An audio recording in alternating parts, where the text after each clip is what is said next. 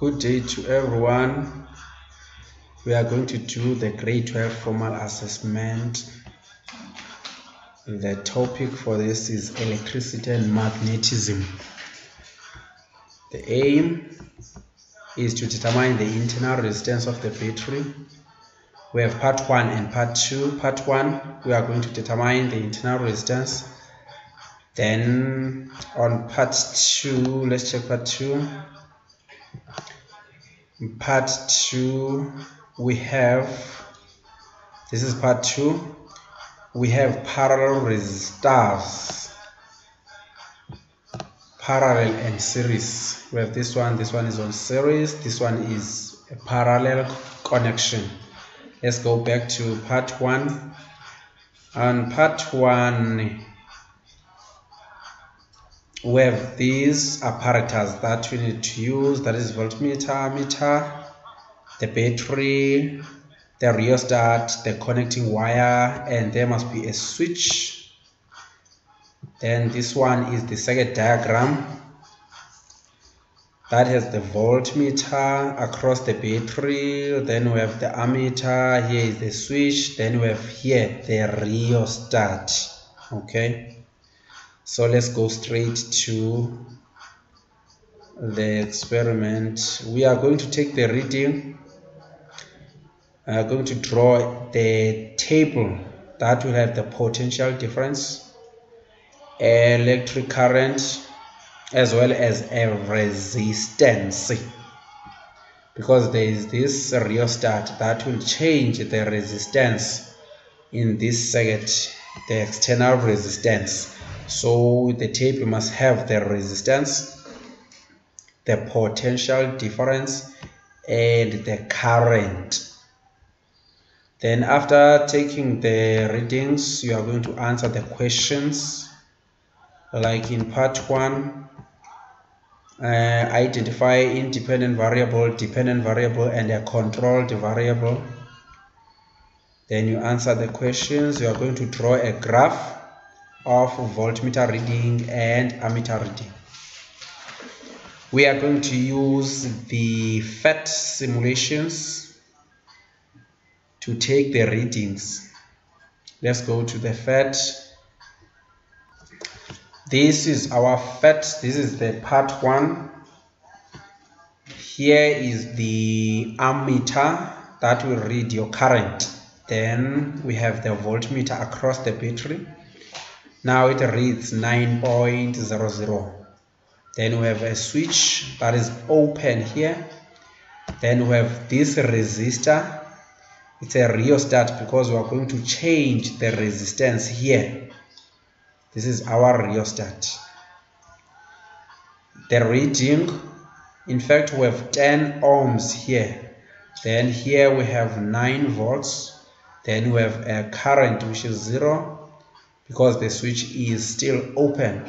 Now let's close the switch then take the readings. If because the switch is still open. Now let's close the switch and take the readings. The switch now is closed. The resistance is 10 ohms.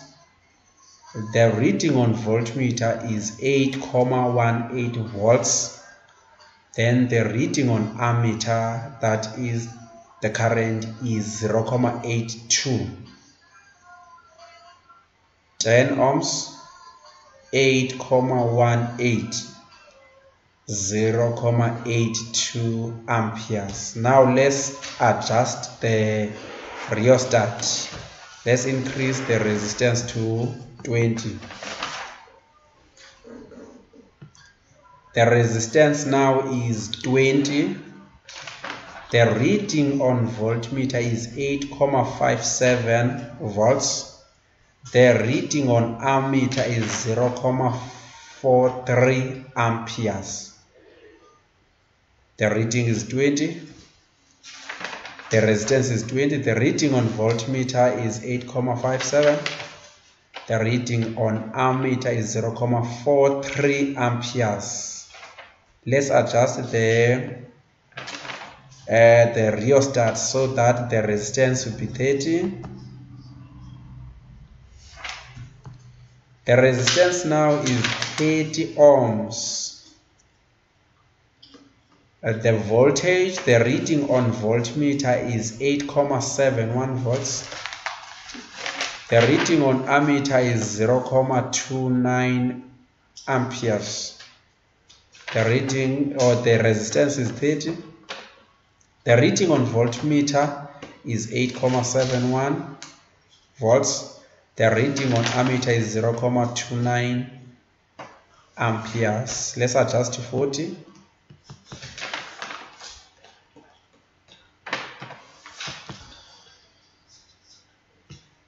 The resistance now is 40 ohms, that is external resistance. The reading on voltmeter is 8,78 volts. The reading on ammeter is 0,22 amperes. the external resistance is 40. The reading on voltage voltmeter is 8,78 volts. The current that is the reading on ammeter is 0,22. Let's adjust to 50. The reading or the resistance, that is external resistance, is 50. The reading on voltmeter is 8,82 volts. The current is 0,18 amperes. Resistance is 50. Reading on voltmeter 8,82 volts. Reading on ammeter it's a 0 0,18 amperes. Let's adjust to 60 the reading or the resistance is 60 now. The rating on voltmeter is 8,85 the reading on ammeter is 0,15 resistance 60 reading on voltmeter 8,85 reading on ammeter is 0,1 5 amperes. Lastly, 70. The resistance now is 70. The, the voltage is 8,87. The current is 0,13 amperes. Then we're done for this one. Let's go to part 2. The apparatus for the second part, that is part 2, we need three fixed resistors with known value. That is not too high value. So we'll use 10, 10, 10 ohms in each resistor there. Then we need the voltmeters, we need ammeters, the battery, then the switch must also be there. We are going to assemble our circuit diagram such that two resistors must be parallel to each other. Then this one will be negative okay? Okay now let's assemble it so we have the battery with 9 volts then we have the ammeter now 0 amperes then we have this resistor this is r1 R1 has 10 ohms. Then we have R2. R2 at 10 ohms. R3. R3 at 10 ohms. Okay. Now let's close the switch. When we close the switch, the reading on voltmeter is 8,44. The reading on ammeter is 0,56. So we have R2 which is parallel to R3 then this one is a series which means you are going to calculate the total resistance here then you use you are going to calculate the total resistance by using parallel and series. You get the total resistance or you can use uh, this 8,44 and this 0,56 then the experiment is done. That is part two. You just measure the reading on voltmeter when the bed when the switch is closed and the reading on ammeter when the switch is closed then here we have 10 ohms 10 ohms 10 ohms. Okay? That is part number two. You are going to answer the question. Don't forget that when you calculate the gradient you use y2 minus y1 divided by x2 minus x1 that is the gradient. When you draw the graph we draw a linear graph. That is the line of the best fit we draw the line of the best fit on the points that is on your Cartesian beam or on your graph okay? So if we can look on interpretation and discussion of results from the reading obtained in your experiment determine the equivalent resistance of the circuit which means you are going to use the reading on the experiment if you can look here these are the readings with the voltage and the current there. Then this is the voltage and the current. This is the reading on voltmeter. This is the reading on ammeter.